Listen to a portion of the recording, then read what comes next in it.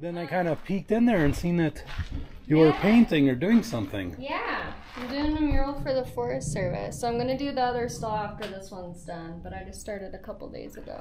Is that going to be all around the entire? I see I got a butterfly. Yeah, I'm gonna do a couple more butterflies here, and then I'm gonna do some words up at the top. We're trying to promote responsible recreation, um, but also there's been a lot of problems with vandalism, You don't think? especially in um, these. So they're hoping uh, the BLM has done this, right. and they've had really good luck with this. So now this is kind of the first in the country for the Forest Service, um, just to try to to minimize vandalism as much Right. as possible. Well- like we checked out a bathroom a couple weeks ago, and someone drew bananas all over the whole thing.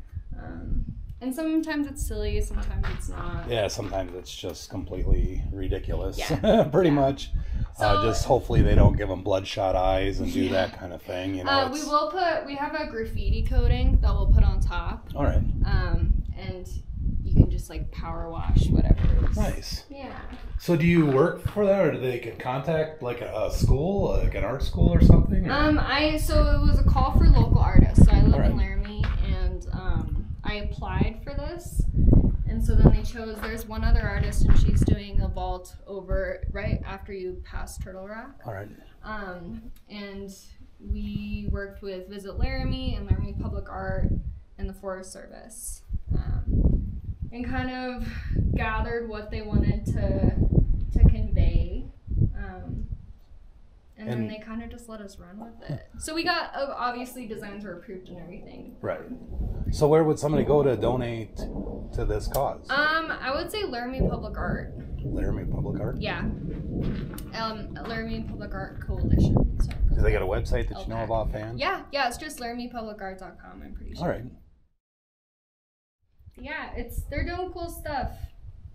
Um, I don't know where are you where are you from? I'm from Cheyenne, Oh, nice. so I just uh, been doing some doing some video of uh, local trails and Yeah. whatnot, trying to bring the camping up and Yeah. cleaning up as I go if I find stuff on the ground. And Yeah. No, we And, gotta um, keep it keep it pristine up here. It's pretty special. well, yeah, they they're working on taking away so much so much of the land, and this it's just terrible to see it being taken away. Yeah. Well, and then it's just it breaks my heart when I come out here too and it's just trashed. And people don't don't really I was- respect. picking up trash, and all of a sudden there's three or four people behind me. And I'm like, oops, you know, but I wasn't paying attention to that. Yeah, so. well, and it's if anything, it's good good for people to see that too. I think it spreads the message. that it does. Well, thank you, and I do problem. appreciate it. And what was your name? Olivia, Lydia. Mike. Mike, nice to meet you.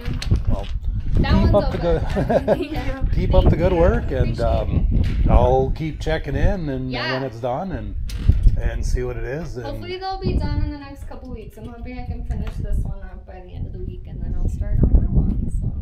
So a good do deal.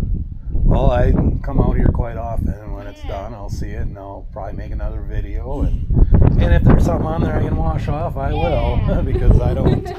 Yeah, I'm I'm with you. This is a beautiful area, and it's why ruin it? Yeah. You know, there's bullet holes in the sign, the welcome sign, and it's like, Yeah. why do people do that? Breaks my heart And then they tear up and down the roads like they're in a hurry. It's like Yeah. you're supposed to be relaxing. Yeah. All right. Well, thank you, and enjoy the rest of your weekend.